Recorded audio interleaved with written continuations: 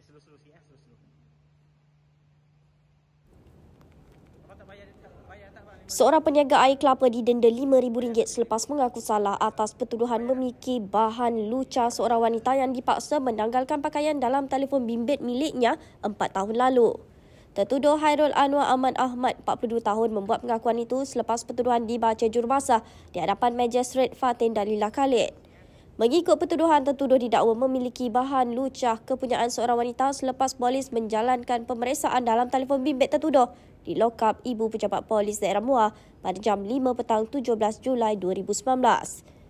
Tertuduh didakwa melakukan kesalahan mengikut Seksyen 292 Kanun Keseksaan yang boleh dihukum mengikut Seksyen 292 Kurungan A Kanun sama iaitu penjara 3 tahun atau denda atau kedua-duanya jika sabit kesalahan.